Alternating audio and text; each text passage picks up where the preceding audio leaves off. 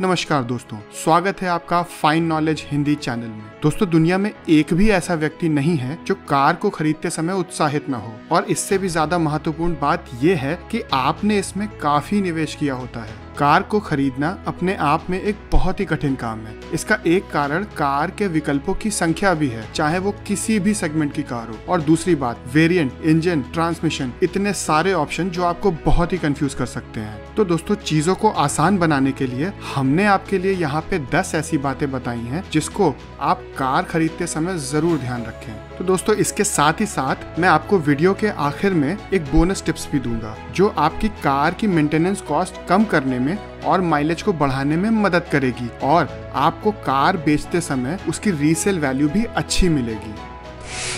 तो दोस्तों, सबसे पहले हम आपको ये निर्धारित करने की सलाह देते हैं कि आप अपनी कार पर कितना पैसा खर्च करने को तैयार हैं। आखिरकार, अगर आप अपने सपनों की कार खरीदने की योजना बना रहे हैं तो पैसा ही एक ऐसी चीज़ है जो एक बाधा हो सकती है। यहाँ भारत में सभी कार निर्माता सौदे को आकर्षक बनाने के लिए कार का एक्स शोरूम प्राइस बताते हैं। खैर, आपको ये नहीं भूलना चाहिए कि कार के एक्स शोरूम प्राइस के बाद भी आपको उसके आरटीओ और इंश्योरेंस का पैसा देना होगा। मौजूदा समय में एक दस लाख की कार पे आपको डेढ़ से दो लाख रुपए और देना होगा, जिसमें आरटीओ इंश्योरेंस और अदर चार्जेस इंक्लूड होते हैं। साथ ही कुछ कंपनीज़ आपसे हैंडलिंग चार्ज भी लेती हैं। ये सारे चार्जेस मिलाकर आपको आपकी कार को बहुत ही महँगा कर देते हैं। तो दोस्तों, कार का बजट बनाते समय इस बात का ध्यान रखें कि आपको एक शोरूम प्राइस पे डेढ़ से दो लाख रुपए ऊपर देने पड़ सकते हैं।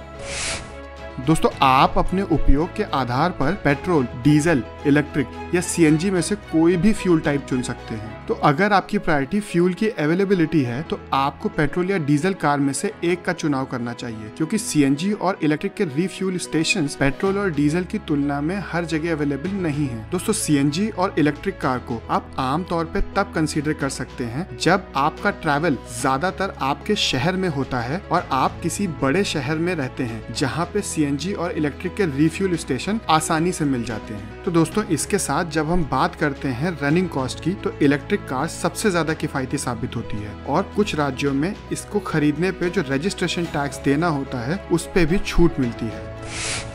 तो दोस्तों, अगले पहलू पर आते हैं बॉडी टाइप हमें यकीन है कि आप इसके सारे प्रकार को जानते होंगे, पर हम थोड़ी जानकारी उनको दे देते हैं, जिनको इस बारे में नहीं पता। यहाँ भारतीय बाज़ार में बढ़ते आकार के आधार पर तीन प्रकार की कार्स होती है हैचबैक सेडान एसयूवी जिसमें हैचबैक सबसे छोटी होती है। तो दोस्तों, अगर आपको पार्किंग की समस्या है हैचबैक आपके लिए बिल्कुल सही साबित हो सकती है। ये छोटी फैमिली के लिए एक बहुत ही अच्छा ऑप्शन है। शहर के ट्रैफ़िक को बीट करना इस कार से बाकी कार की तुलना में बहुत ही आसान होता है। और दोस्तों सेडान उस सेगमेंट की कार है, जिसकी कार बहुत ही लग्जूरियस होती है। इसका लंबा व्हील बेस कार के अंदर एक बहुत ही अच्छा स्पेस प्रोवाइड करता है। ऐसी कार्स का एक नेगेटिव पॉइंट ये है कि इनमें ग्राउंड क्लियरेंस बहुत ही कम होता है। तो अगर आपका रास्ता उबड़ खाबड़ है तो इसको चलाने में आपको प्रॉब्लम हो सकती है। तो दोस्तों बात जब हम एस की करते हैं तो इस बात से इनकार नहीं किया जा सकता कि पिछले एक दशक में बड़ी लंबी एस ने ज़्यादातर खरीदारों को आकर्षित किया है। आखिरकार, वो कुछ ऐसा पेश करती हैं जो किसी और सेगमेंट की कार प्रोवाइड नहीं करती। जैसे कि कहीं भी, कैसी भी रोड पे ट्रैवल करना इसकी एक विशेषता है, और ये राइड कंफर्ट से समझौता किए बिना करती है। कार के इंजन को कंपेयर करते समय बहुत सारे ऐसे टर्म्स आ जाते हैं जो हमें समझ नहीं आते, जैसे BHP या टॉर्क ये सब क्या होता है? तो दोस्तों, बहुत सरल शब्दों में आप ये समझ सकते हैं कि BHP टॉप स्पीड और एक्सिलेशन के लिए रेस्पॉन्सिबल होता है। और टॉर्क कितना लोड एक कार बिना परफॉर्मेंस में गिरावट लाए उठा सकती है, इसको हम टॉर्क से नापते हैं। ज़्यादा BHP मतलब ज़्यादा पावरफुल कार होता है। कार को खरीदते समय टॉर्क से ज़्यादा BHP को प्राथमिकता देनी चाहिए।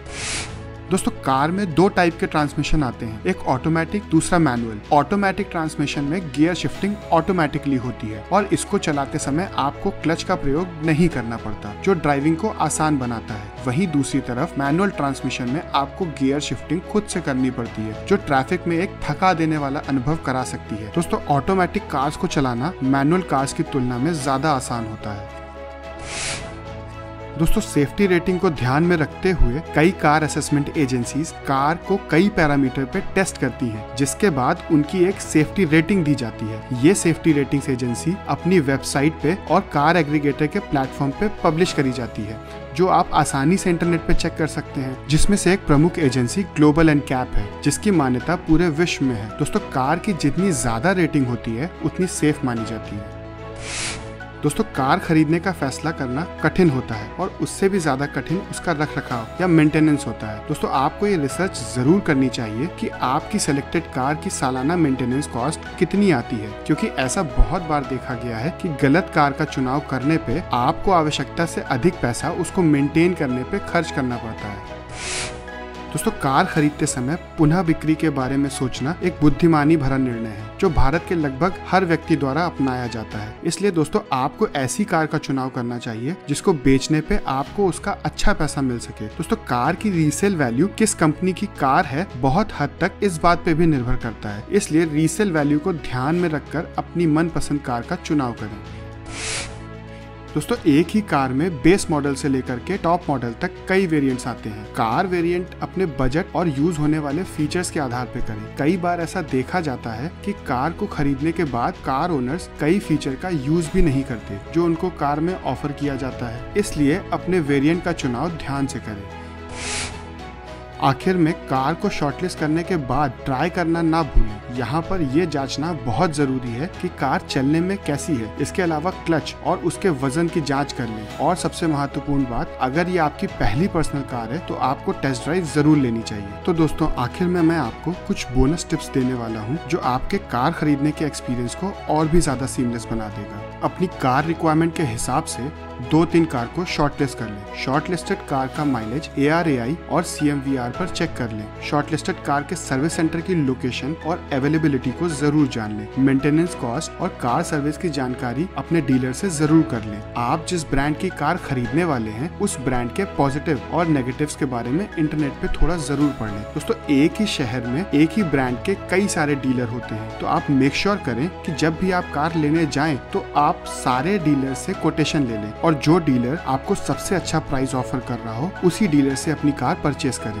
दोस्तों, साथ ही साथ मैं आपको कुछ माइलेज टिप्स भी देता हूँ कि सर्विस टाइम पे करवाएँ। टायर प्रेशर को हफ़्ते में एक बार ज़रूर चेक कराएँ। फ्यूल हमेशा ऑथराइज फ्यूल स्टेशन से ही भरवाएँ। दोस्तों, हमेशा कार को एक्सिलरेट करते समय हल्के पाँव से करें और सडन ब्रेक्स ज़रूरी होने पर ही लगाएँ। और दोस्तों, अगर आप अपनी कार दो आरपीएम पे लगातार चलाते हैं तो आपको सबसे अच्छा माइलेज मिलेगा। तो दोस्तों, आशा करता हूँ कि आपको कार खरीदने से संबंधित कुछ ज़रूरी जानकारी मिली होगी। ऐसे ही और इंटरेस्टिंग जानकारी के लिए हमारे चैनल को सब्सक्राइब कर लें, ताकि कोई भी इम्पोर्टेंट अपडेट आपसे मिस न हो सके।